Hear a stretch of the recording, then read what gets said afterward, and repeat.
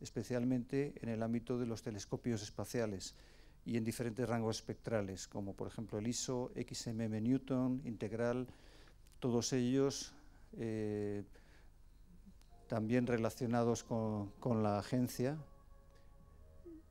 y, muchos de ellos también con base aquí en, la estación de SAC, en, la parte por lo menos científica, de almacenamiento de datos, etc. Eh, y, en misiones planetarias también. Y también, por supuesto, ha trabajado en diferentes aspectos relacionados con la planificación y operación científica de los satélites. Desde el año 2005 trabaja con el satélite Gaia en el Centro Europeo de Astronomía Espacial en Madrid, que está en Villanueva de la Cañada, del que hablé antes, y particularmente en la reducción de los datos astronómicos y en la generación del catálogo de Gaia, que como vais a ver a continuación, pues es muy interesante. José es uno de los mayores expertos en este tema, así que tenemos la gran oportunidad de escucharle y, y por favor recibirle con un fuerte aplauso que nos va a dar una conferencia seguramente muy magnífica. Muchas gracias.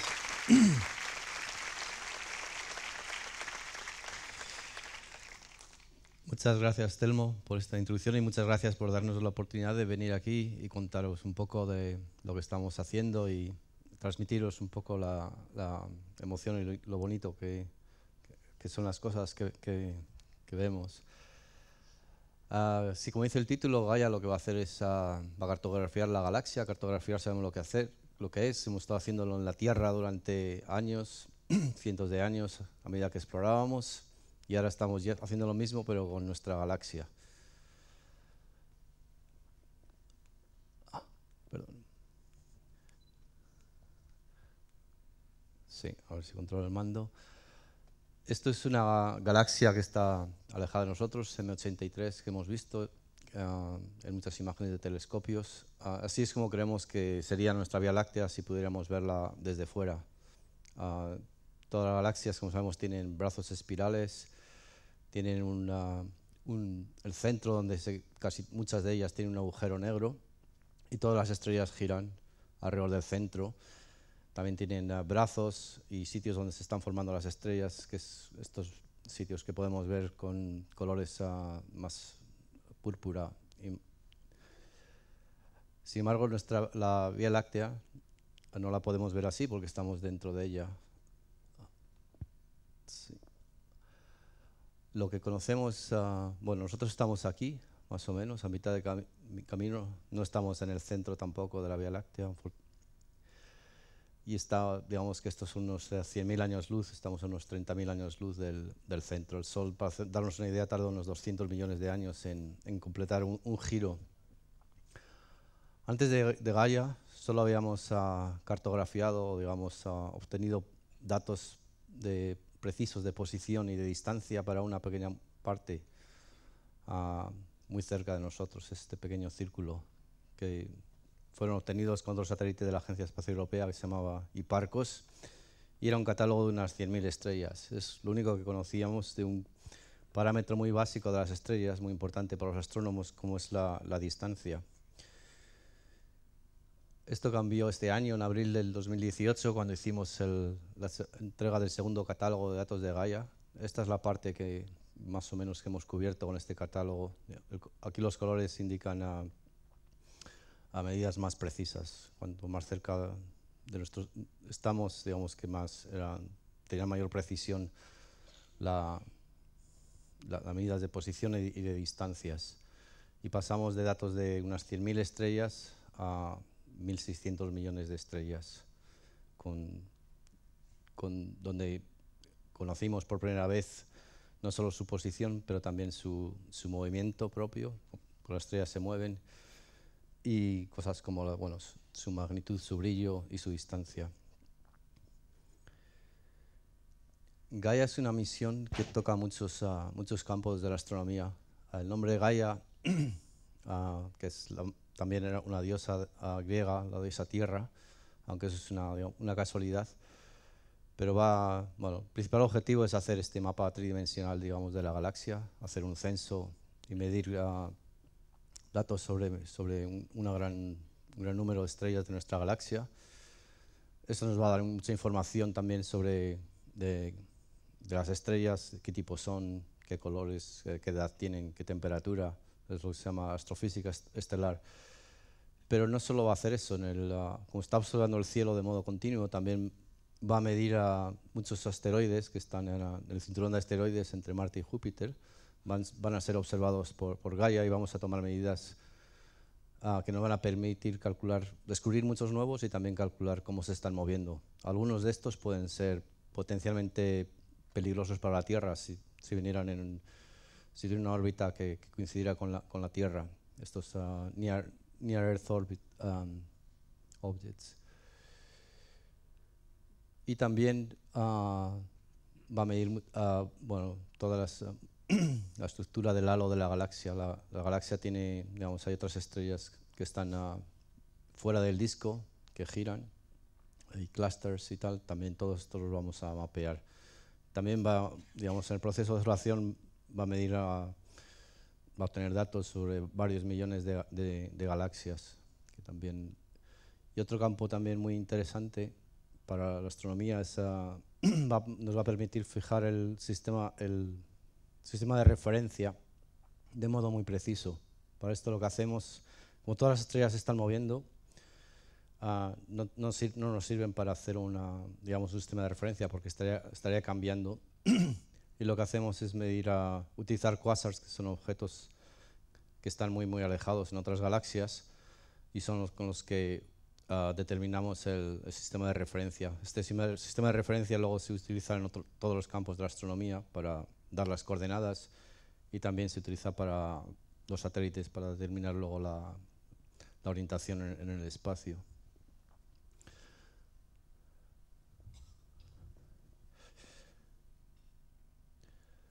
¿Cómo hace esto Gaia? Uh, si miramos el cielo a simple vista en una noche oscura, si tenemos la, la, suerte de tener un sitio donde podamos ver el cielo uh, sin mucha contaminación lumínica, vemos varios miles de estrellas y nos aparecen con este planetario en una bóveda. Nos parece una bóveda que y nos parecen así y parecen que están todas a la misma distancia.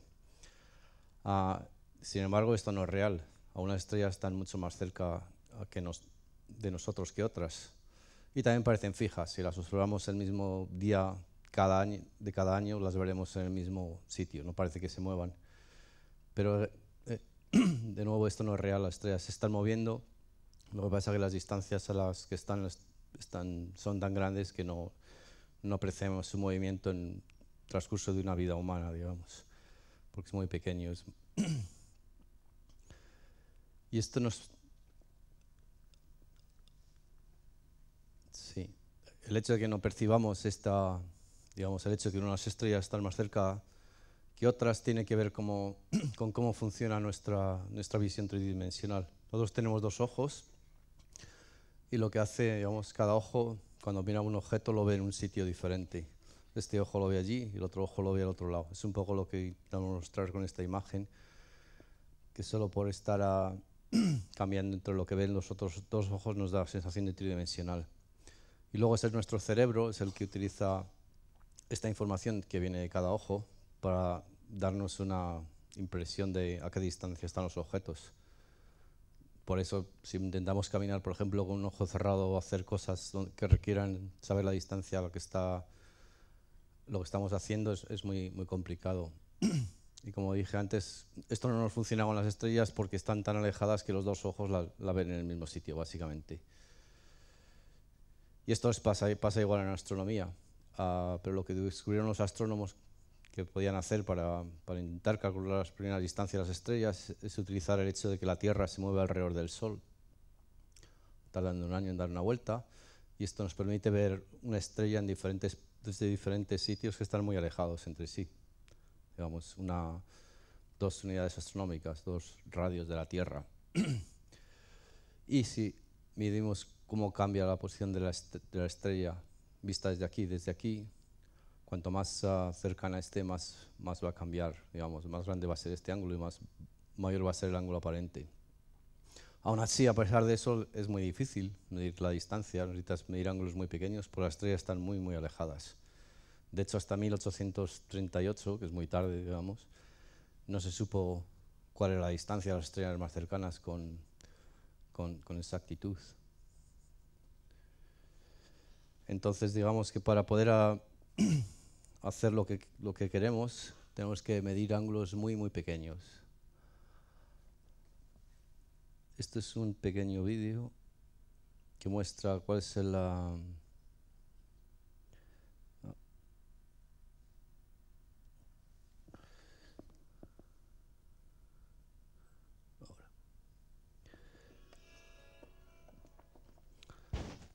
muestra cómo sí, ve, digamos, Gaia el movimiento de las estrellas debido al, al, al- al giro que tenemos alrededor del Sol. Básicamente, si nosotros, está exagerado, pero como podemos ver, aquí todas las estrellas están describiendo círculos. Esto es por el movimiento, digamos, de Gaia alrededor del Sol. Y las estrellas que están más cercanas a nosotros hacen círculos más grandes. Esto es puesto con las constelaciones. y como digo, está exagerada. O sea, este movimiento no es real de las estrellas, es un movimiento reflejo por el hecho de que nosotros estamos moviéndonos alrededor del Sol. Y es el, es- pero este movimiento es el que utilizamos para saber calcular la distancia a las, a las estrellas. Lo llaman los astrónomos el paralaje. Luego, aparte de esto, las estrellas tienen un movimiento propio, que es el que se muestra aquí exagerado. Digamos, si pasáramos en el tiempo ah, mi- cientos de miles de años, ah, se mueven cada una en su una dirección. Eso es muy, es muy importante, nos da mucha información sobre las estrellas. Digamos, por ejemplo, todas las estrellas que se formaron en el mismo sitio y en la misma, de la misma nube de polvo tienden a moverse de la misma manera. Entonces, una manera de identificarlas es buscando estrellas que se muevan juntas, por ejemplo. Eso normalmente nos dice que tienen el mismo origen.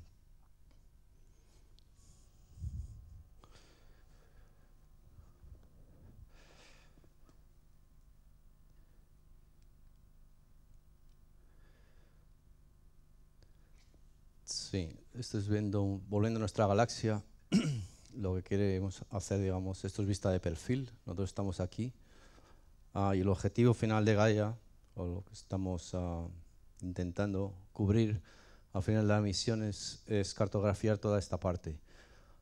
No- como hemos- nosotros estábamos aquí, ah, digamos que las zonas donde hay más polvo, aquí en el disco, no vamos a llegar tan lejos porque el, el polvo no deja, no, deja pasar la luz visible, que es la que utiliza Gaia. Y hacia arriba y hacia abajo, digamos, podemos llegar más, más lejos porque está más limpio el, el cielo, vamos, no, no tiene tanto polvo. Pero básicamente vamos a llegar hasta prácticamente el centro de la, de la galaxia. Esto es muy importante y vamos a, a medir, digamos, posición y movimientos para un 1% de las estrellas de la galaxia, que es probablemente unos mil millones o dos mil millones, más cerca de dos mil millones.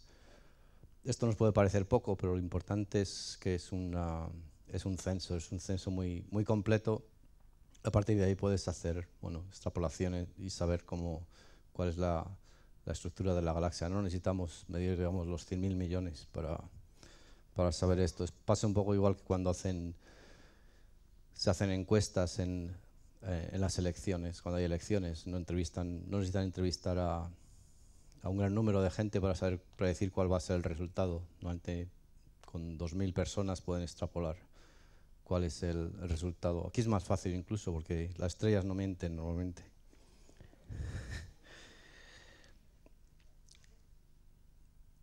Esto es lo mismo visto de perfil. Y esta es la parte que, ten- que te- que tenemos hasta ahora. Ah, en, es- en este release utilizamos datos de unos dos años de observaciones. Al tener más observaciones nos, ah, nos va a nos da más precisión, nos facilita que podamos llegar más lejos. Básicamente también nos da tiempo para reducir los, los errores que tenemos en el procesado, que son los que limitan el, digamos, el alcance hasta donde podemos llegar ahora mismo. Esto es un ejemplo. Básicamente la precisión que necesitamos para llegar hasta ahí, hasta el centro de la galaxia, es ah, tenemos que manejar ángulos de unos 10, lo que llaman 10 mic- microsegundos de arco en astronomía. Esto para hacernos una idea de qué, qué- qué ángulo estamos hablando, hemos puesto aquí algunos ejemplos. Por ejemplo, es el ángulo que tiene una moneda de un euro puesta en la Luna si la vieras desde la Tierra, o el grosor de un pelo a 500 kilómetros, o un edificio de 100 metros que pusiéramos en el planeta Urano. O la Tierra si la viéramos desde, desde la estrella Vega a unos 25 años luz. Son realmente ángulos muy pequeños y necesitamos medir esos ángulos muy pequeños porque las estrellas están muy lejos y se mueven muy, muy despacio, digamos. Esta es una pequeña comparación entre el predecesor de Gaia, que fue el satélite Hiparcos, que hemos visto, fue lanzado en el 87, y Gaia, digamos que es, también nos da una idea de cómo se ha desarrollado la tecnología en solo 24 años. Digamos que hace 24 años no se podría haber hecho.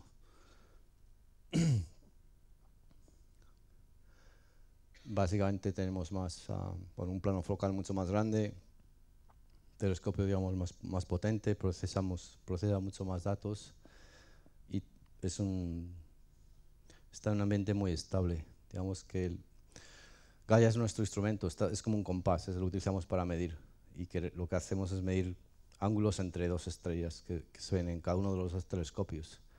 Entonces, uh, digamos, esto no funciona si el compás uh, no es estable, si, si, nuestro instrumento de medir cambia, nos, uh, no, no, podemos digamos, saber la, cuál es la medida exacta.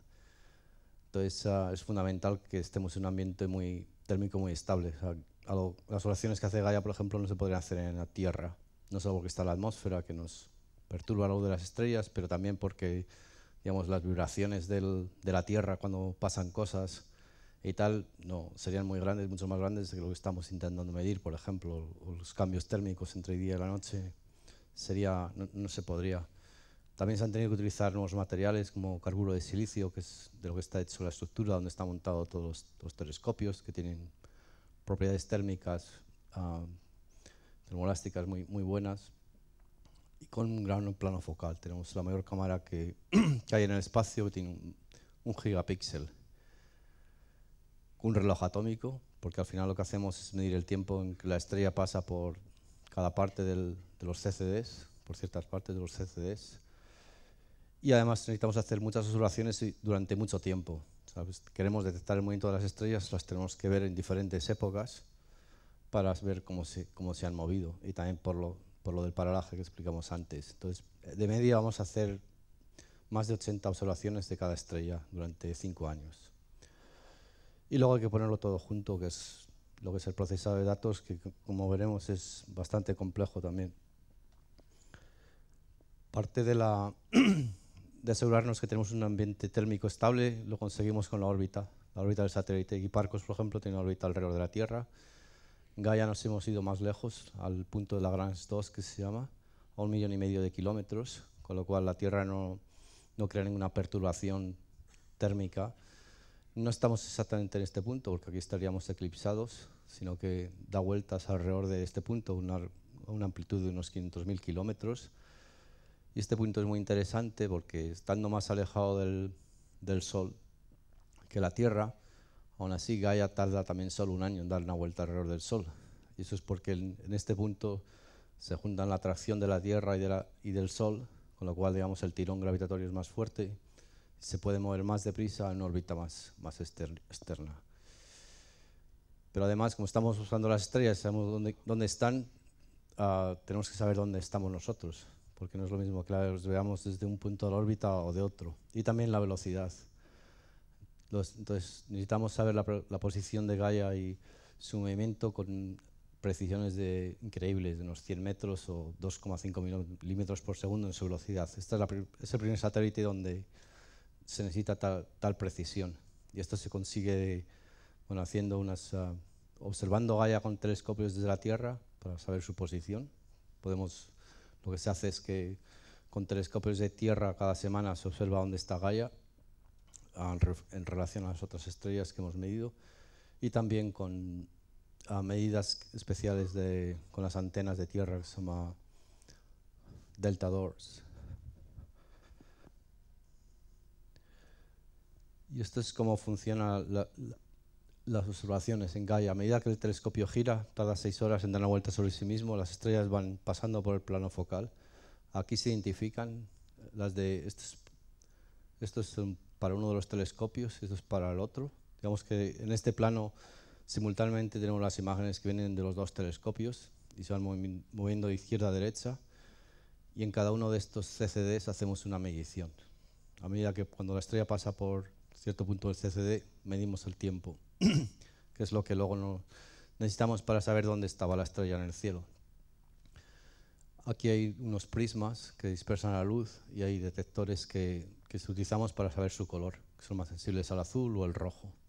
Y con esto podemos saber básicamente el color que tiene la estrella, que es muy importante para saber luego de qué tipo de estrellas se trata, uh, sus propiedades físicas.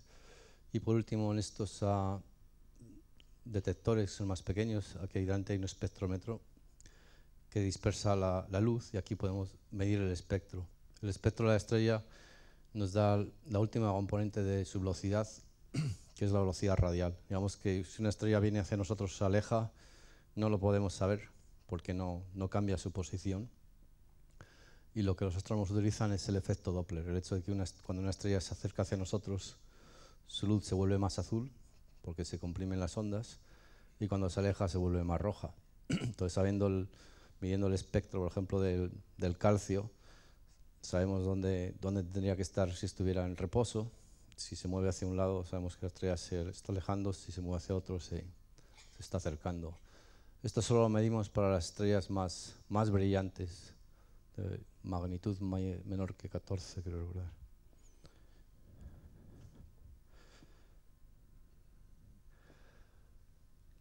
Luego, cómo funciona. A, bordo hay un procesador de imágenes bastante complejo, lo que vemos aquí. No leemos todo el CCD, porque serían demasiados datos. no, no, no, tenemos tanto ancho de banda para mandar tantos datos desde el un millón y medio de kilómetros. Y tampoco hacen falta entonces lo que hace, se hace a bordo es, eh, hay una, una, unidad de procesado de vídeo bastante compleja que identifica dónde están las estrellas dentro del CCD y las, solo estas partes del CCD se leen, además se comprimen, no necesitamos uh, digamos, todos los datos dentro de la ventana. Esto se almacena a bordo mientras Gaia observa el cielo de modo continuo, se va guardando a bordo en la memoria de a bordo y cada noche cuando las antenas de tierra miran hacia el, L2 se nos manda los datos. Típicamente recibimos unos 50 gigabytes diarios. Hay veces que puede ser tres veces más o cuatro veces más. Cuando Gaia escanea digamos, el cielo ah, siguiendo el plano galáctico, hace mucho más observaciones, necesitamos mucho más antena, más tiempo de antena. Y cuando es perpendicular, ah, no, no, no tantos. La antena que tiene a bordo también es especial, es de construcción española además. Es un phase array antena que lo que hace es un apuntado electrónico. Utilizando interferencia, en, digamos, en Gaia no se puede mover nada porque queremos estabilidad. Entonces la antena tiene que apuntar el, digamos, el haz que nos manda a tierra, lo hace de modo electrónico, utilizando, tiene muchas antenas pequeñas, y haciendo interferometría puede, digamos, apuntar el haz.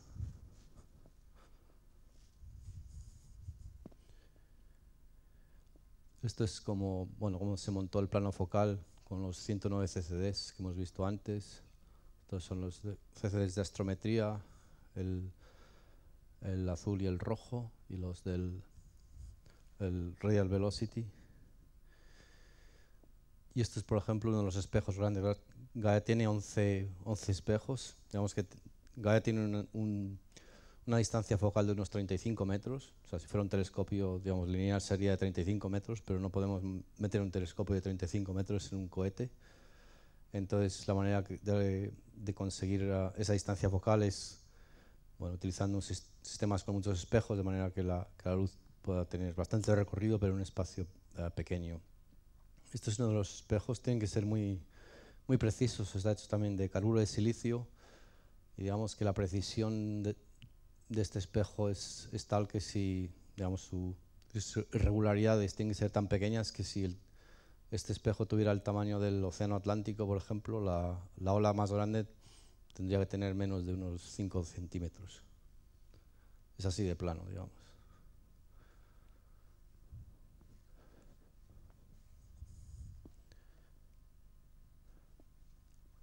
Si esto es el módulo de carga, aquí vemos el, el toro, que está hecho también de carburo de silicio, y aquí es donde están montados digamos, todos los espejos y el plano focal que se ve al fondo.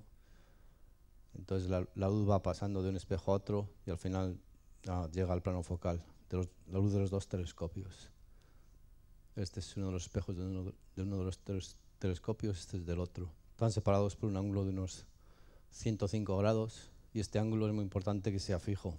O sea, Este ángulo es nuestro compás, es el que nos da la, la medida relativa de una estrella en relación a la otra. En teoría no, los requerimientos de la misión es que ese ángulo variara solo en, digamos, en días, pero al final ah, lo que se ha visto después del lanzamiento es que, que, no, que no era así, vamos, tiene una, una, vari- una variación inesperada, ah, pero afortunadamente también hay- había otros, ah, Gaia lleva dos, ah, ah, unos láser que con interferometría están midiendo de modo continuo este, este ángulo y ahora tenemos que utilizar esa medida para poder bueno, para corregir esta variación inesperada del, del ángulo base.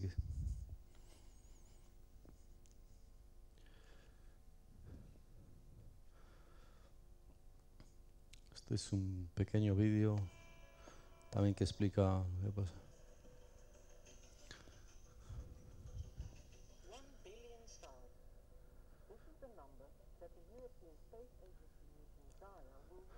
Voy a, voy a explicarlo yo, vamos. over 70 planets to nail down their position, movement, and characteristics. Va- cubre un poco lo que hemos dicho. Así es como hace Gaia la- las observaciones. Esta, e- este parasol es el que mantiene los dos telescopios en la oscuridad. Esta es la apertura de uno de los, telescopios y es el camino que sigue la luz hasta llegar al plano focal.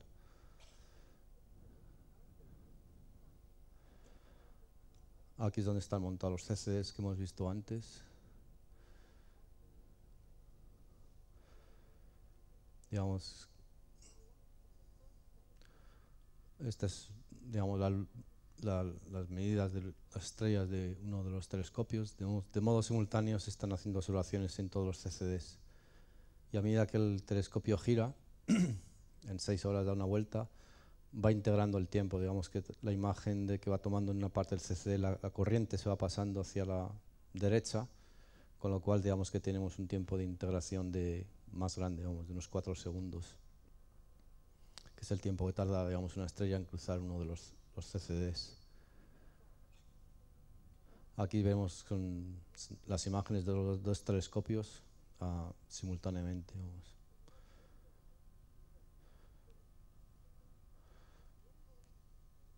Sí, esto es lo que hemos vi- visto, que no, no leemos todo el CCD, sino que se va siguiendo el camino de la estrella, se identifica donde, cuando aparece en el primer CCD y después ya s- predecimos cuál va a ser el camino a lo largo del, del plano focal y solo se lee esa parte del CCD. Digamos, cuando, cuando Gaia observa del- zonas del cielo muy, muy densas, como la, mm, a lo mejor, digamos, los centros de los, de los clústeres muy, muy, donde tenemos un- una gran densidad de estrellas, no hay bastantes recursos a bordo, se satura, tiene que, no puede seguirlas a todas. Esto lo intentaremos, bueno, se mitiga en parte porque vamos a hacer varias observaciones, y entonces en cada, en cada visita van a ser diferentes estrellas las que se pierdan. Y son, bueno, son pocas regiones donde esto llega a pasar.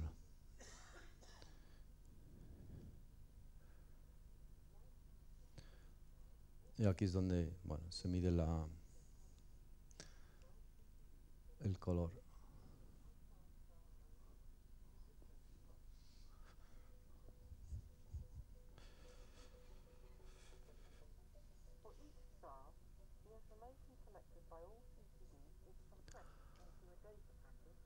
Si los datos se comprimen, am, al final de los cinco años tendremos unos 100, 100 terabytes de datos crudos. Bueno, al, al- al final seguramente no van a ser cinco años, sino van a ser 10 porque la misión se va a extender seguramente, con lo cual será, será el doble, 200 terabytes en comprimidos. Cuando hacemos el procesado eso se, se expande por un factor de 10.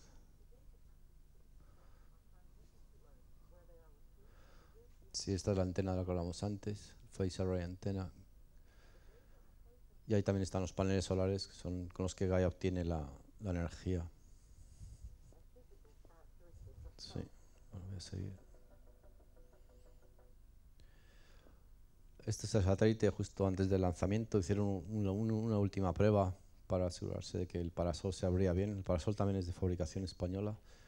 El problema de estas pruebas además es que en, tienes, en tierra tienes gravedad, con lo cual es más fácil que se abra.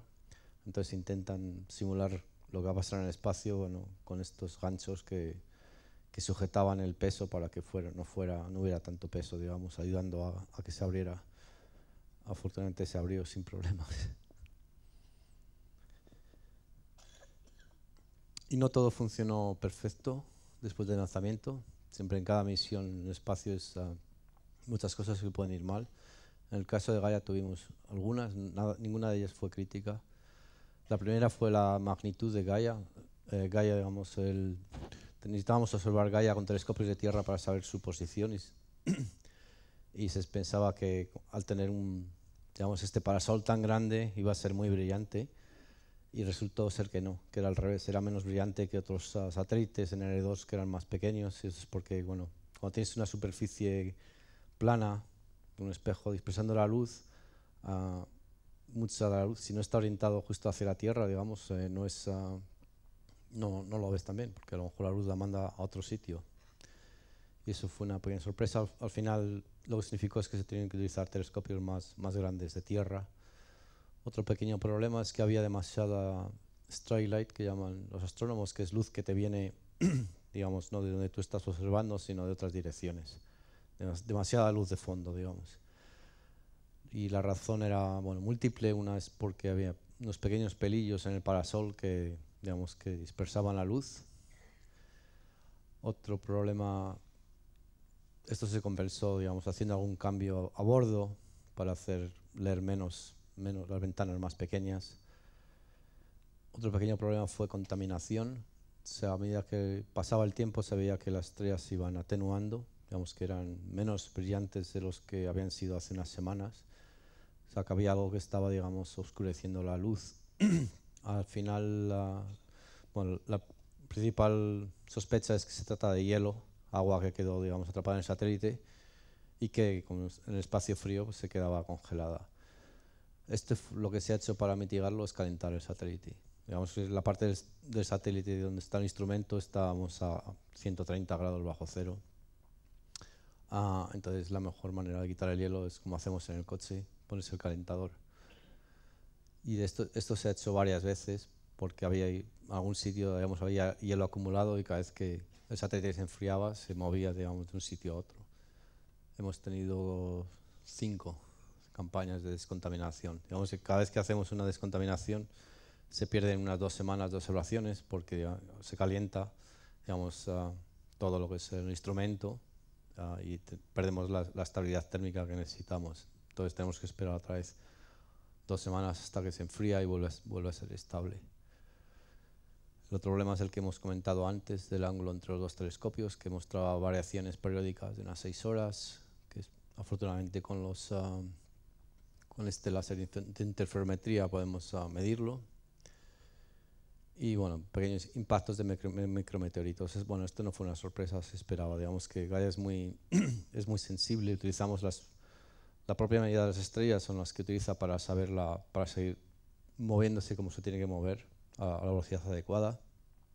Y cuando hay digamos, un micrometeorito que golpea el satélite, pues se, se, se bambolea, digamos, y el, el sistema de, de micro- micropropulsores tiene que compensarlo, vamos. Pero ninguna de estas fue, ha sido crítica. Entonces, moviéndonos al procesador de datos, una vez que tenemos todas estas observaciones durante todo, es- todo este tiempo de las estrellas, tenemos que ponerlo todo junto, digamos, y esto se parece mucho a hacer un puzzle. Es un puzzle donde tenemos 1.600 millones de piezas, que serían las 1.600 millones de estrellas, para los que queremos saber sus datos, posición, color, etcétera. El problema es que las piezas no son... La única manera nada más de saber si lo estás haciendo bien es encajar el puzzle, tienes que ir probando.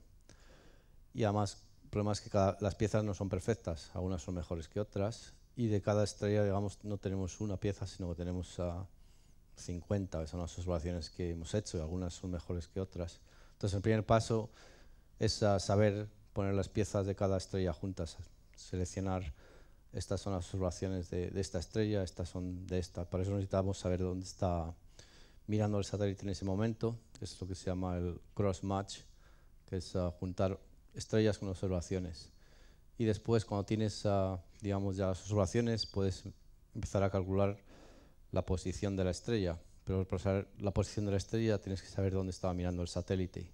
Y lo tienes que saber con una exactitud de microarco por segundo, que es la que quieres llegar a saber al final. Entonces, al final, la única manera de hacer, ah, digamos, el ajuste es poniéndolo todo junto. Es un proceso iterativo donde ajustamos de modo simultáneo la orientación del satélite, la calibración del instrumento y la posición de las estrellas. Y esto se hace varias veces hasta que, digamos, convergemos. Y no solo eso, también hay, digamos que el- si la estrella es roja o es azul, el camino óptico dentro del telescopio es diferente. Entonces el color nos afecta al procesado. Entonces también necesitamos saber cuál es el, el color y el brillo de la estrella. Y una vez que tenemos eso, nos podemos calcular posiciones mejores. Y luego viceversa, el color que estamos determinando depende y utiliza también ah, la, posición y la magnitud de la estrella. Digamos que el procesado es, bastante complejo, se tiene que hacer de modo iterativo y utilizando todos los datos a la vez. Para esto se, se, formó un consorcio europeo. Gaia es una misión europea totalmente. No digamos que no, no tenemos ah, prácticamente nada que no sea europeo. Bueno, algo de hardware en, en el satélite quizás. Y el procesado está a cargo de un consorcio que se llama el DIPAC, que está formado por unas 440 personas de 75 instituciones europeas y también hay seis centros de procesado físico, donde ocurre el procesado físico de los datos, que está distribuido. En España el más importante, aparte del, del ESAC aquí en Madrid, que es donde re- recibimos los datos, está en Barcelona, donde la Universidad de Barcelona es, es- forma parte muy importante del consorcio. Ahí utilizan el, pues, utiliza el Mare Nostrum y una de las cosas que hacen es el reprocesado ah, de todos los datos para, para mejorar la, la posición, digamos, de la estrella a partir de la, de la imagen. También el, este cross-match del que hemos hablado, de juntar sources con observaciones, eso también se, se hace en Barcelona. En Cambridge, por ejemplo, en el Reino Unido, es donde se hace la, la fotometría, es donde se mide el- la magnitud, el color de las estrellas, que también utilizamos luego en astrometría. En, en Ginebra se hace el estudio de las estrellas variab- va- variables. En Toulouse, en el CNES, también hacen el procesado de la, velocidad radial y también de las, binarias.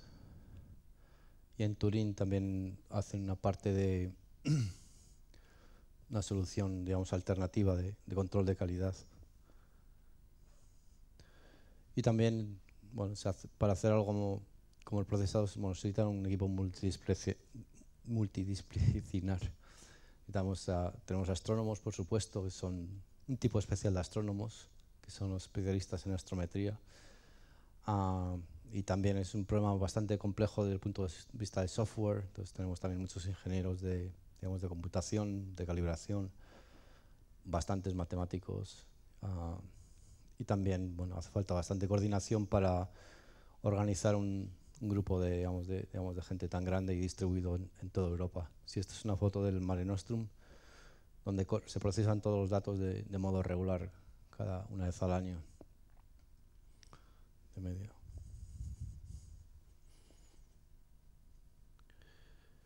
Sí, esto es lo hemos hablado antes.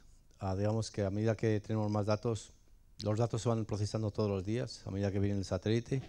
Este procesado bueno, se- tiene dos propósitos principales. Para asegurarnos de que está funcionando bien, de que los datos que está mi- midiendo van a ser útiles. Y también se, se detectan al- al- alertas. A veces una estrella se vuelve muy brillante, digamos, supernova y tal. Y algunas son, so- pueden ser detectadas. Y cuando esto ocurre, bueno, quieres ah, mandar una alerta a toda la comunidad astronómica para que haya, digamos, ah, seguimiento con otros telescopios. Esto está funcionando de modo, de modo regular.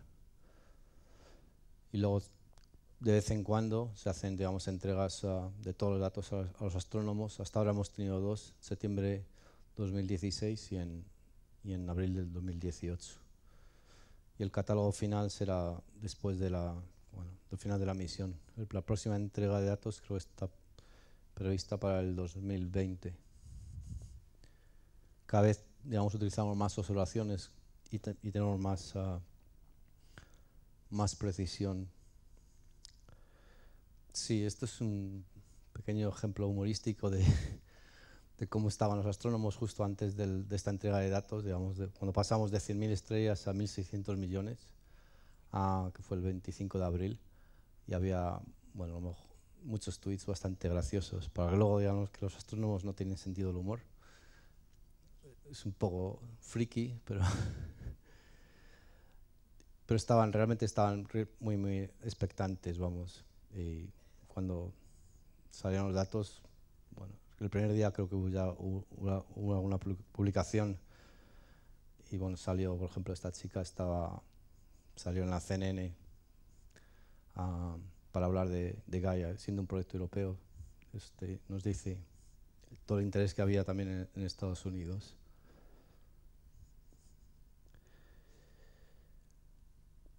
Y esto es la- una de las imágenes que se publicó con, la- con el release. Esto los, estamos acostumbrados a ver fotos de, de telescopios como las del Hubble, que pueden ser como esta, pero aquí hay una diferencia. Esta, esta imagen es- está hecha, digamos que Gaia observó cada punto que, es el que vemos en esta imagen y tenemos datos de posición, color, brillo de cada punto y esta imagen se hizo poniendo todas estas observaciones juntos, juntas. No es una foto, es, el resultado del procesado. Entonces aquí bueno, podemos ver las zonas más oscuras donde, no, donde hay polvo que oscurece la galaxia. Estas son las dos nubes de Magallanes. Pero digamos que Gaia tomó medidas individuales de todas las estrellas que se ven aquí. Por ejemplo, este es un zoom de esa zona de la gran nube de Magallanes y vemos realmente cómo giran las estrellas alrededor del centro de la nube de Magallanes. Tenemos datos de, del movimiento de rotación de las estrellas y también otras galaxias como cercanas como la M31 y galaxia de Andrómeda y la M33. O mapas del, del polvo, digamos que nos si sabemos la distancia a la que está la estrella y también el brillo intrínseco que tiene, pues sabemos su color, su, sabemos sus propiedades físicas, sabemos lo, brillante que debería de ser esa estrella y como sabemos su distancia y el brillo que realmente vemos, ah, la explicación es que no es tan brillante porque hay polvo. Entonces, digamos, esto nos permite hacer un mapa de la distribución de polvo dentro de, la galaxia, que es lo que muestra aquí. Son todas regiones conocidas. Ah, y esto está hecho a partir de los datos de, del brillo calculado de, la- de las estrellas del catálogo. Esta es la imagen que tuvimos en el primer release que se hizo de Gaia. Aquí podemos ver que hay muchas, muchas ah, cosas que no son del- reales, por supuesto, como todas estas zonas que hay vacías en el cielo. Esto era solo consecuencia de que teníamos poco- pocas observaciones todavía y había zonas que no estaban completas, digamos.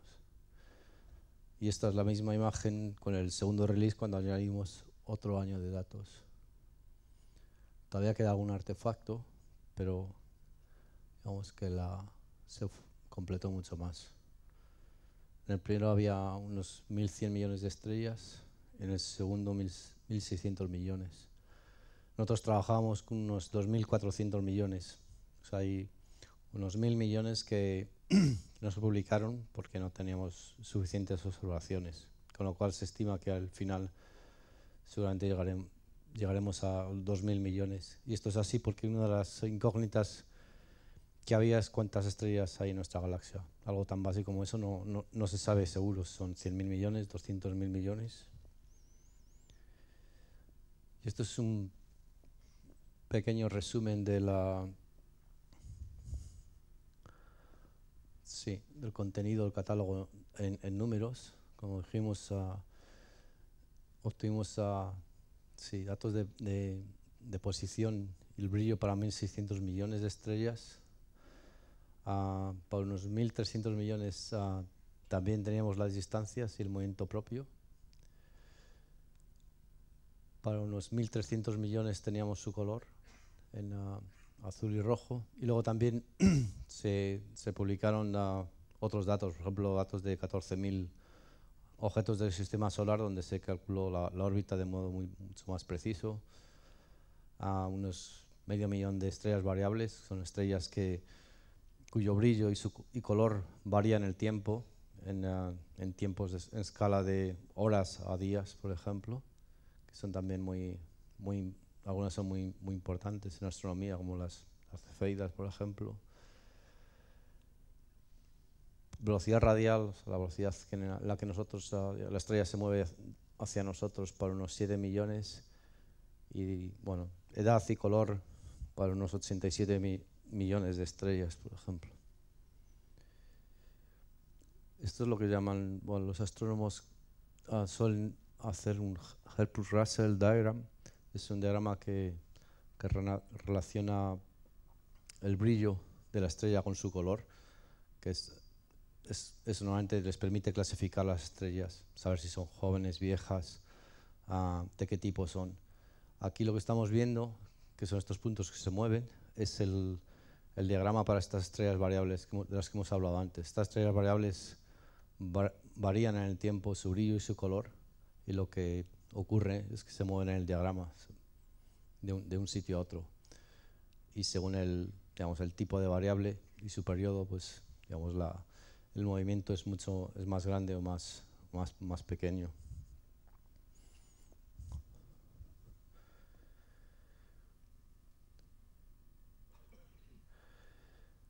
Desde que se, desde que se hizo la, la publicación del catálogo, ojo, esto puedo ponerlo así, se han,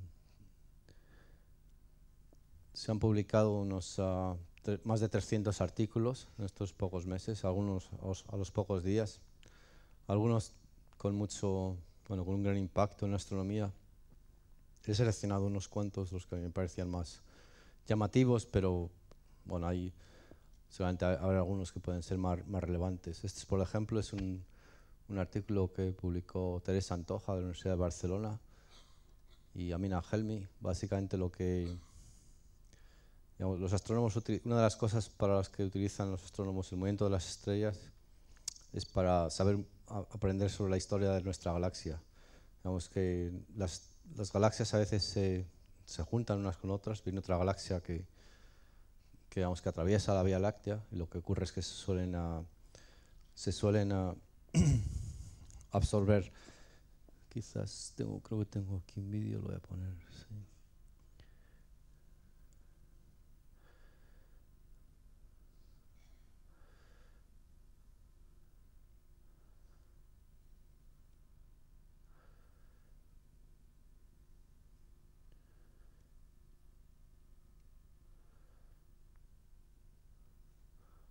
Sí, esta es una simulación de este proceso.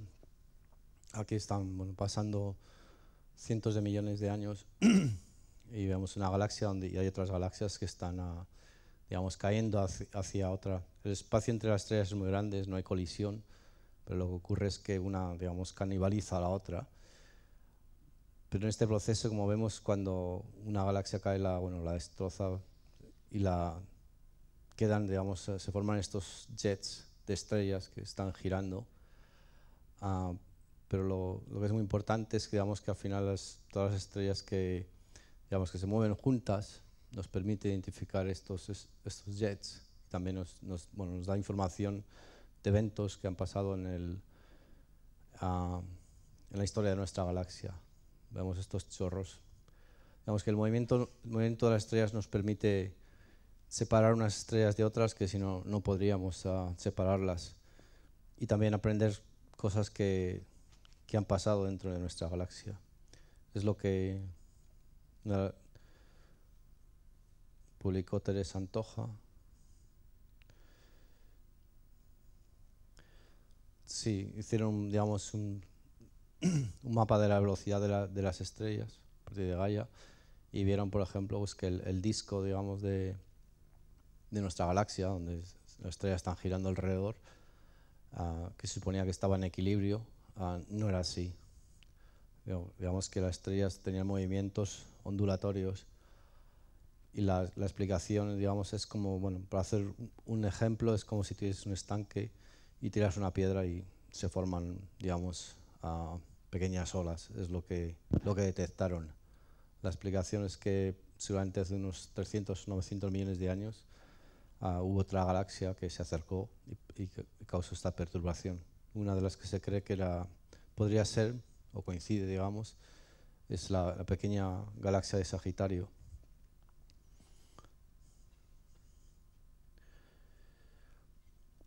Otro artículo también bastante interesante es que bueno, se detectaron muchos de estos eh, chorros de estrellas que hemos, que hemos visto antes en la simulación, totalmente nuevos, desconocidos. Digamos que el, el proceso era tan simple, entre comillas, como coger todo el catálogo y ver, identificar estrellas que se movían de la misma manera. Es un, un mapa de algunos. ah, muchos conocidos también se, se ampliaron, digamos, pudimos extenderlos, ver mucho más lejos su, su estructura y también muchos, muchos nuevos se, se han descubierto.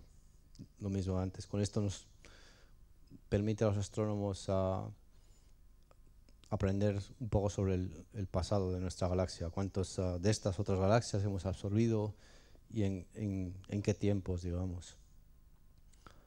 Ah, este también es un artículo muy curioso. Digamos que, como dijimos antes, vemos las estrellas de, otras galaxias, como la de Andrómeda la 31 de modo individual. Y son, digamos, las medidas fueron tan precisas que se ha podido calcular y ver cómo es las estrellas de otras galaxias giran alrededor del centro. Ahora no solo tenemos una foto de la galaxia, sino además podemos ver cómo se mueven las, las estrellas en, otras galaxias.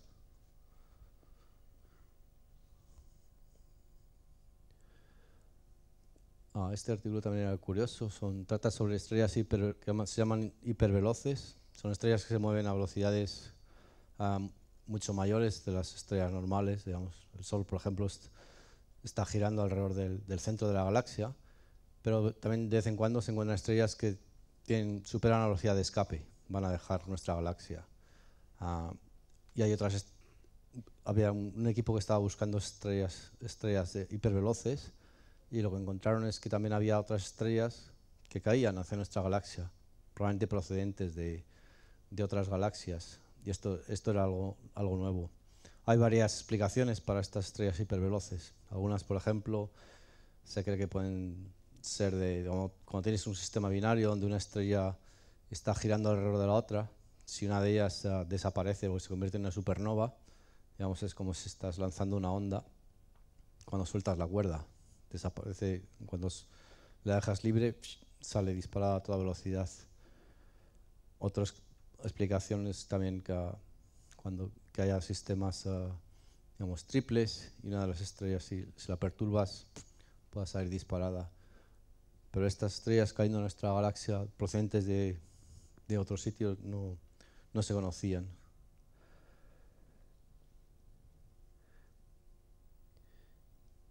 Y ha habido, bueno, como dije, hay unos ah, más de 300 ah, artículos. Aquí hay unas, una serie de links, si, si quieren para más, más información ah, en la web. Este es un programa que se llama Gaia Sky, que también es- que se puede instalar en, en los laptops, que permite visualizar el, el catálogo de Gaia,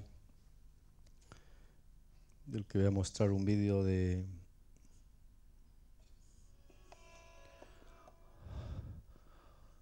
que se ha hecho sin bueno, viendo cuál es el movimiento de, la, de un clúster cercano a nosotros, las Hayades, que es uno de los clústeres que tenemos más, más cercanos. Estos son datos, está basado en datos reales del, del catálogo.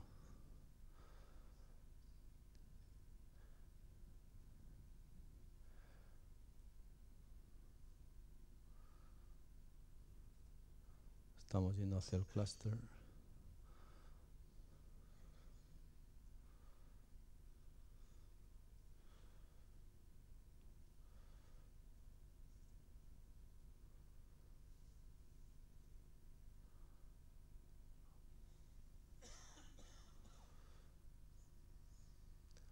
Al, tener la, la distancia nos permite bueno, movernos al- alrededor de, él, hacia él y alrededor de él. Y estos son las, el movimiento del, al que está moviendo las estrellas. Aquí hem- hemos dado el reloj hacia adelante y digamos que est- están pasando miles de años, con lo cual podemos ver las estrellas en movimiento. Como vimos al principio, las estrellas del clúster se movían todos, todas de la misma manera. Es una de las técnicas que, más importantes que tienen los astrónomos para saber que tienen un, un origen común.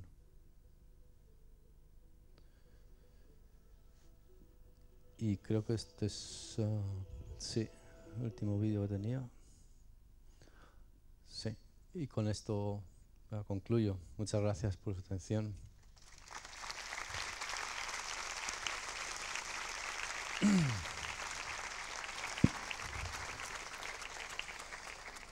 Eh, muchas gracias, José, y, enhorabuena por la charla. Si queréis hacer alguna pregunta, eh, levantáis la mano y os pasamos el micrófono.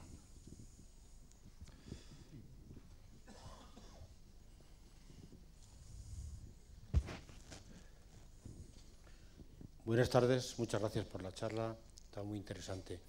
Me pregunto, ¿ustedes tienen ahí un grupo de científicos con papel y lápiz que van poniendo nombre, número a cada uno de estos satélites? ¿Lo hace un ordenador o ni se pone eso?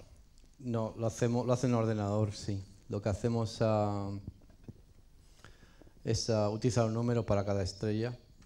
Ah, y el número, digamos, lo, lo generamos de modo sistemático. Hemos ah, pixelado el cielo de manera que cada píxel le asignamos un número y luego dentro de ese píxel, cada vez que encontramos una estrella nueva, subimos el, el contador.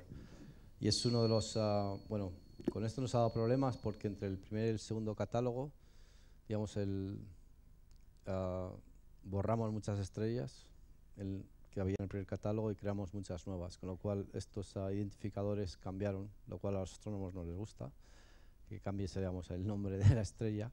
Tuvimos que hacerlo porque bueno, en el primer catálogo digamos, teníamos pocas observaciones, entonces hay muchas que son, no, no, digamos, no estás ah, seguro de que sea la estrella. Hay algunas observaciones que hemos mezclado, digamos, observaciones de una estrella con otra que está muy cerca, por ejemplo.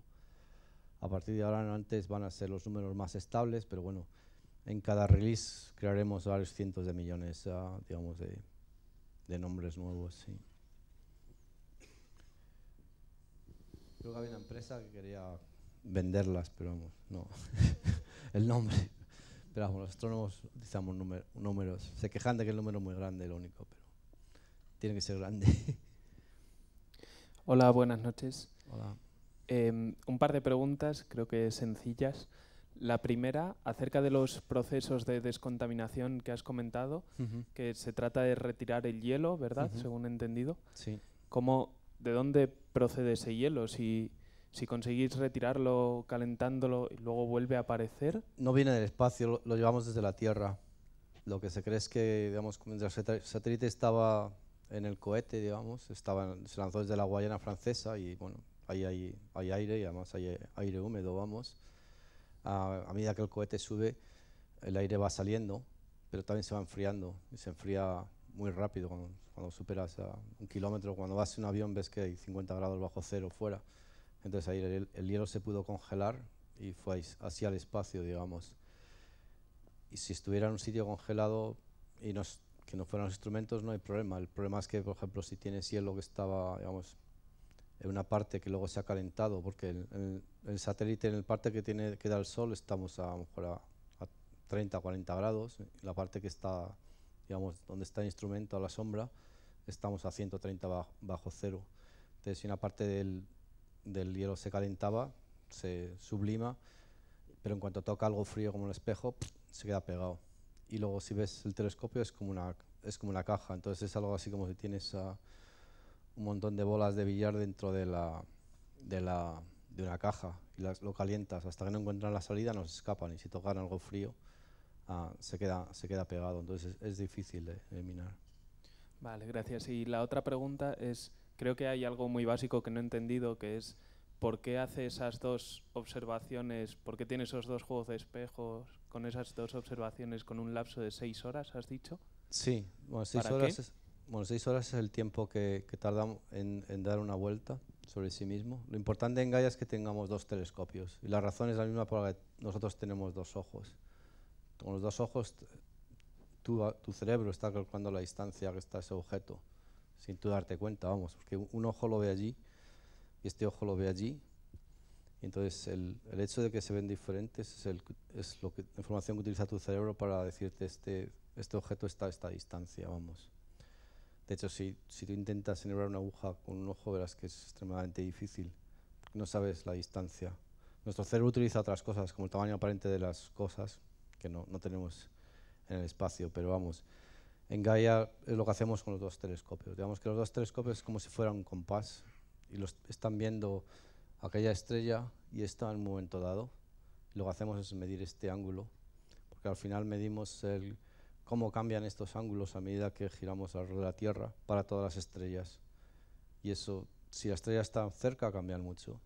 Si aquella está lejos, su ángulo cambia poco, digamos.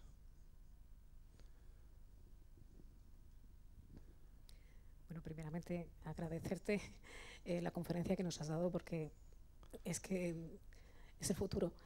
Em, yo tengo un par de dudas también. Em, primero, no sé si hay algún tipo em, de colaboración o porque realmente estáis registrando un 1%, Sí. o esa es la idea, ¿no? Eh, pero si hay otro, otro tipo de, pues otra, la NASA o, o alguna otra eh, institución que se, bueno, pues que se encargue de realizar o haya, tenga algún proyecto similar.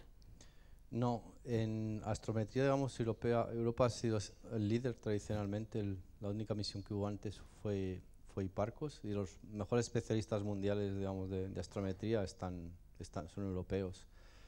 Hubo algún, en un momento hace unos 15 años así, la NASA tenía un proyecto que se llama FAME, también para hacer algo parecido, pero bueno, no, no fue seleccionado. Ah, y digamos de astrometría global como hace, como hace Gaia, que es medir distancias de- para todas las estrellas, no hay, no, hay, no hay ningún satélite que lo, ningún proyecto que lo haga. Con el Hubble, por ejemplo, han hecho algo parecido, pero para campos limitados, para un pequeño número de estrellas y han calculado, por ejemplo, el, el movimiento propio, comparando la posición de, de medidas, digamos, separadas por varios años, pero tampoco es el principal propós- propósito de- del Hubble. Entonces, los datos de Gaia son muy importantes porque además son muy útiles para complementan muchas otras ah, otras misiones. Por ejemplo, no hemos hablado de los exoplanetas, se han conocido, se han descubierto ya creo que más de 3.000 exoplanetas. Gaia también descubrirá algunos del tipo Júpiter porque vamos a poder medir el, digamos, detectar el movimiento que causa el exoplaneta en, en la estrella y también la, cuando eclipsa y demás. Y, pero lo importante que ha traído Gaia al mundo de los exoplanetas, por ejemplo, es eh, que hemos dado información sobre la distancia a las estrellas donde se han descubierto exoplanetas con Kepler, por ejemplo. Y con eso, digamos que, bueno, pueden, digamos, ah, obtener más información de los datos que ya tenían. Pueden saber si el planeta a qué distancia estaba de la estrella, si está en una zona habitable o no, todo ese, tipo de cosas. Entonces Gaia va a complementar muchas, ah, muchas otras misiones, vamos. Luego el tema de los datos, que estoy pensando en terabytes. Hmm. Y realmente, ¿cuánta gente o o cuántas organizaciones están realmente integrando todo esto? ¿Únicamente la ESA? ¿O tenéis alguna colaboración? Una colaboración Bueno, el procesado es un consorcio, digamos, la ESA hace una parte Sí, sí, pero y tal, pero la- una buena parte, más de la, bueno, mucho más de la mitad, se hace en varios centros europeos, vamos, en bueno, Barcelona, Cambridge, ah, digamos, ahí se mandan todos los datos. Nosotros lo que hacemos es, lo hacemos, lo hacemos cíclico, aquí juntamos los datos, se los mandamos, ellos hacen su procesado, vuelven aquí, se integra, volvemos a procesarlos y, y esto lo volvemos a hacer, digamos, cada, para cada release lo hacemos ah, varias, varias veces. Y luego el catálogo se hace público, eso es, digamos, no hay datos ah, propietarios. Una vez que, bueno, con el release se hicieron cinco o seis ah, artículos científicos, digamos, a- por parte del consorcio para probar, pa- para mostrar que la calidad de los datos y también porque la mejor manera de verificar que son buenos es hacer algo de ciencia con ellos, pero bueno, eran cosas bastante obvias, digamos, que era lo que llaman en inglés lo fáciles, vamos. Pero una vez que se, que se hacen públicos, se hacen públicos para todo el mundo, para todos los astrónomos en el, en el mundo, vamos.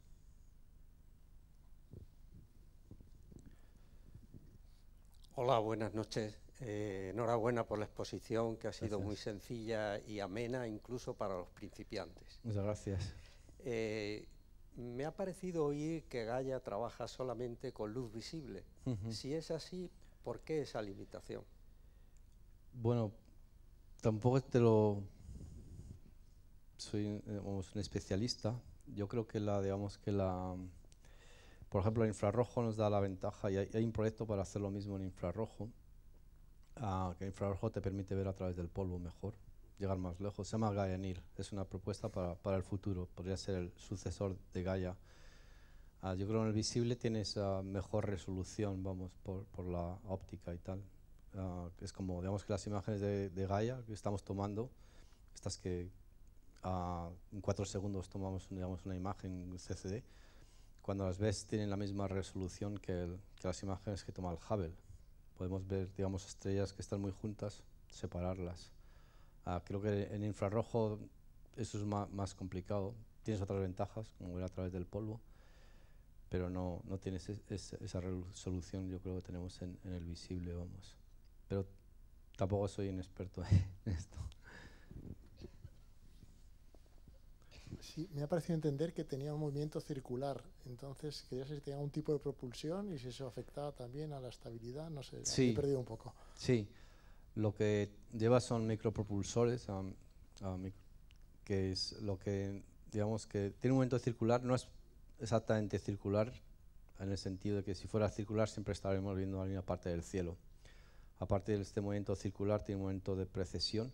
Bueno, tiene un movimiento que está, está girando alrededor del Sol igual que la Tierra. Y luego tiene un momento de precisión, porque al final lo que queremos hacer es ver todo el cielo y varias veces. Entonces, digamos que lo que hacemos es, eh, tenemos una, escaneamos, barremos todo el cielo en seis meses, es el tiempo que tardamos.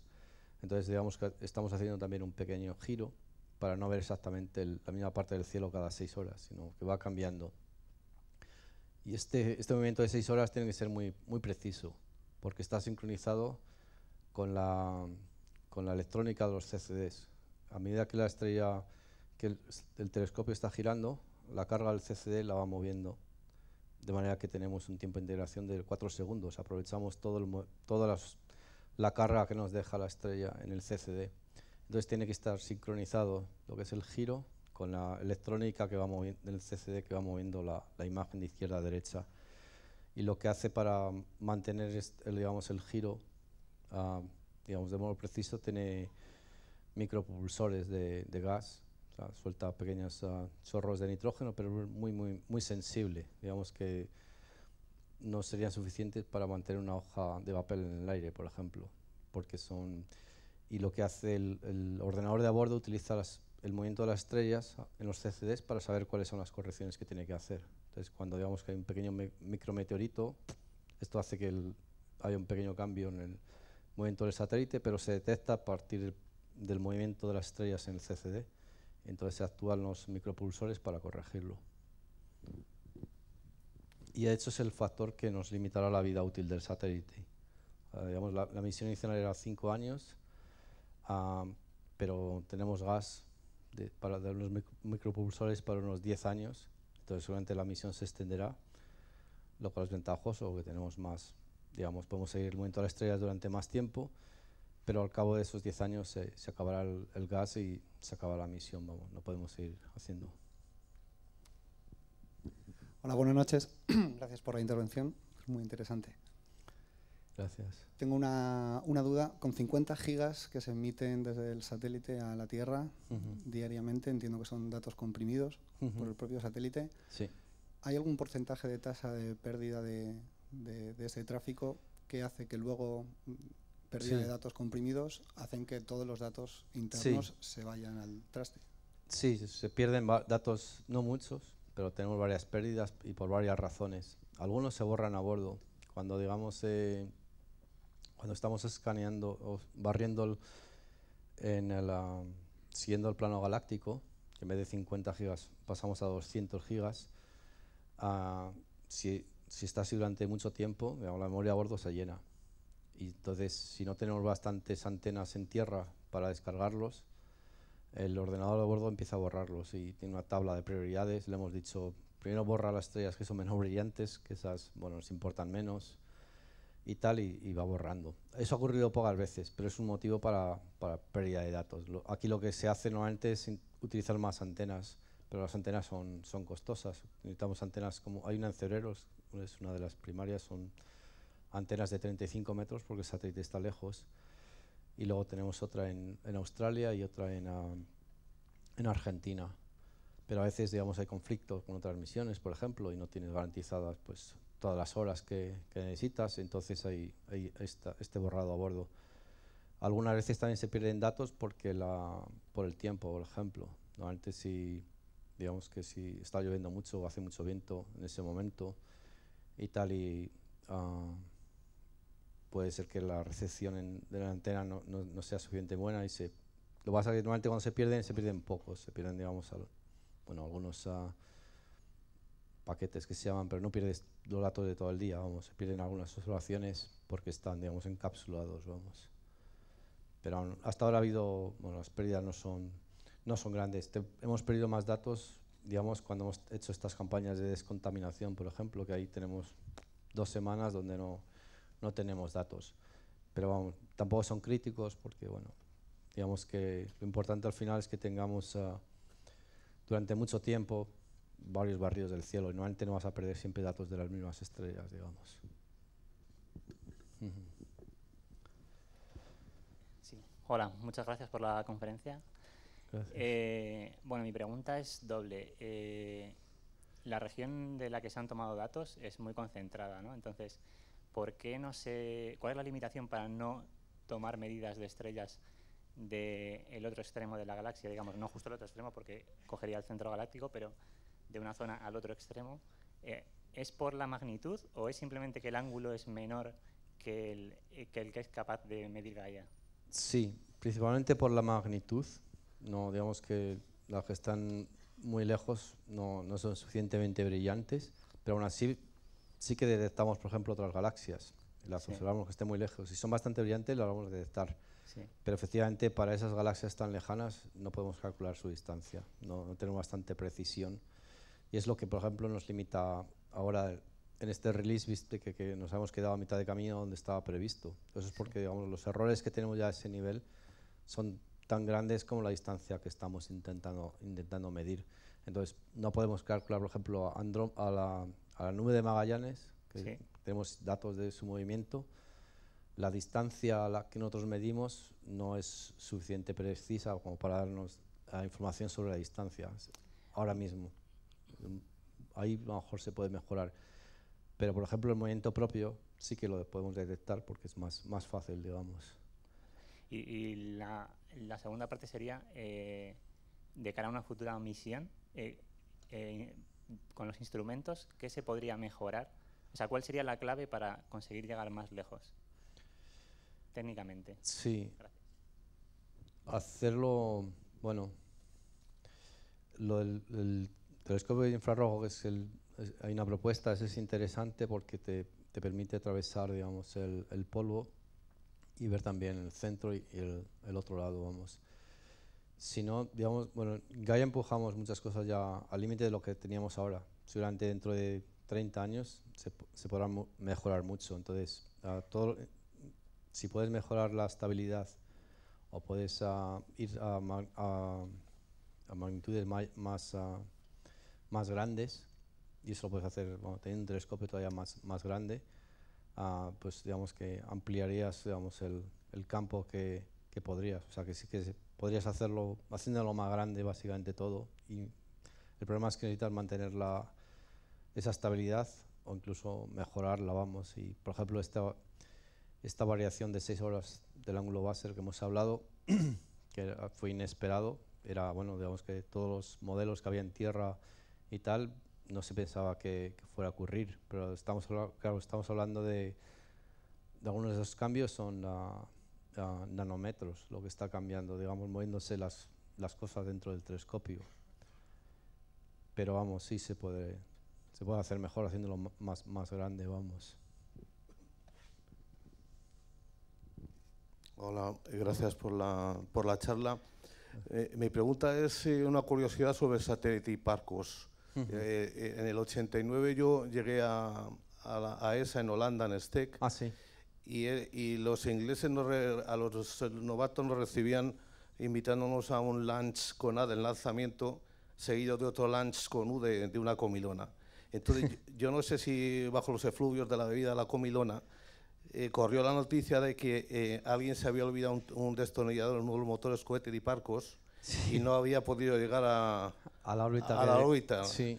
Entonces, la curiosidad es que quería saber si al final Hiparcos cumplió toda su misión a pesar de estos problemas Sí, o no. sí, sí, sí la cumplió, aunque no pensaban que habían perdido la misión, efectivamente, porque tuvo un, un problema en el motor que tenía que moverlo en órbita mucho más, ah, más alejada donde, do que- donde- de donde quedó. La historia del destornillador no la he oído, pero vamos, es verdad que el motor falló. Sí, sí, eh, lo, lo cont- lo contaba todo el mundo por allí, pero eh, sonaba un poco a chiste. Pero, Sí, pero vamos, al final, ah, digamos que pudieron, la, la misión fue un éxito, pudieron hacer lo que querían eh, haz- a- hacer. Tuvieron un problema al no tener la órbita esperada de que cruzaban los, los cinturones de radiación de la Van Allen. Ujú. Entonces, digamos que hay, bueno, los detectores que, que tenía otro sistema más con, con tubos, vamos, y de- ah, como catódicos, vamos, como, un poco como los que había antes en las televisiones y tal, bueno, sufrieron un poco y al final se deterioraron y tal, pero sí, al final la misión fue un éxito, vamos. Pudieron, ya, sí. Gracias. Eh, Muchas gracias por, el, por la conferencia. ¿no? Quería preguntarte un poquito más sobre, has hablado de que se ha detectado el movimiento de las estrellas, ¿no? Eh, parece un poco, no sé, explicar un poquito más, ¿no? Porque parece difícil, ¿no?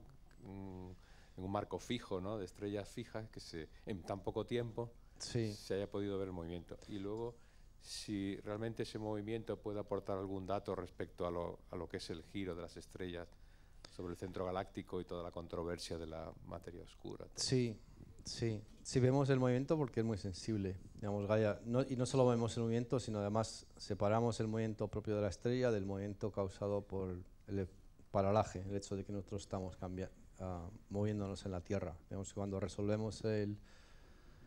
la- vamos, tenemos todas las oscilaciones de, la, de una estrella juntas, ah, resolvemos las ecuaciones y separamos. ah, esto es paralaje y esto es el, el movimiento propio. Aún así, lo hemos hecho a movimiento propio y paralaje eran 1.200 millones solo de los 1.600 millones, no para todas, digamos. Eso se irá, se irá mejorando, pero vamos, sí, ya, ya se, se ha hecho porque el- digamos, realmente las medidas, las medidas son muy, muy precisas. Y sobre la materia oscura, eh, sí, aunque no estaba, vamos, nunca se mencionó como uno de los objetivos eh, principales de la misión, hay gente que lo está, lo está mirando. Y por ejemplo, en estos streams que hemos visto, hay uno que era bastante conocido, que se llama GD1. El día que se hizo el release, ya estaban, bueno, una- unos cuantos astrónomos eh, lo identificaron, obtuvieron muchos más miembros, con lo cual el stream lo, lo ampliaron, su, su extensión en el cielo. Y también empezaron a ver estructura dentro de este stream. Empezaron a ver que había algunas estrellas que estaban agrupadas aquí, otras aquí más esto. Ah, entonces, una pensaban que era lo que llaman el progenitor, y en algunas también han pensado si estas ah, discontinuidades que ven en este stream, el stream cubre una parte muy grande de la, del cielo, ¿no? Entonces, están en el, halo y son, se ven todas las estrellas. Y algunas de, estas estructuras también eh, han empezado a especular si podrían ser causadas por, por materia oscura y demás. Y también con, digamos, hemos tenido velocidades de, los, los, globular clusters que están girando alrededor de nuestra galaxia y con eso también te permite empezar a, crear modelos y cuánta masa tiene la galaxia y demás. O sea que yo creo que algo sí se podrá, se podrá saber al final. Bueno, muchísimas gracias, José. Ha sido una charla muy interesante y también muchas gracias. las preguntas creo que también. Sí, muchas gracias a todos. Así sí. que muchísimas gracias por venir, gracias a José y, gracias. y hasta la próxima que nos vemos por aquí. gracias. gracias. Eh,